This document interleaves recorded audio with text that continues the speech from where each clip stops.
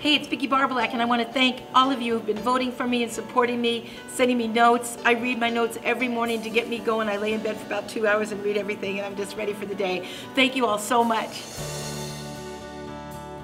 The live shows are so cool. The first live show, I was so scared. I had like an armor around me like a turtle has a shell. So I really didn't feel that night as much as I wanted to because I was so terrified. I, I had to build the armor mainly from the letters I got from fans. I just hold those in my heart so I didn't literally fall apart. Simon, you ever been with a trailer park girl before? Yeah. Oh yeah, you have, baby. And you remember it because it's different. It's trailer nasty. you know, trailer nasty has always been part of my bit because I love that joke. And now to think that all of America, like the whole world's like loving trailer nasty, that makes me so happy. And I got the trademark yesterday.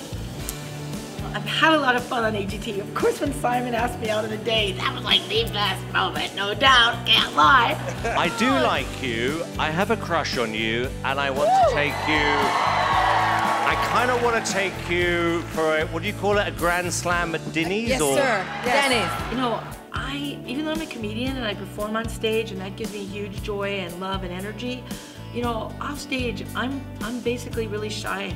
And uh, it wasn't too many years ago that I, did, I didn't know myself. I, I had no self-esteem, self-worth. Stand-up has brought me that. And then getting on this show has just taken the place where I got to and put me at a, a much better place, a place where I actually know that my work is really worthy.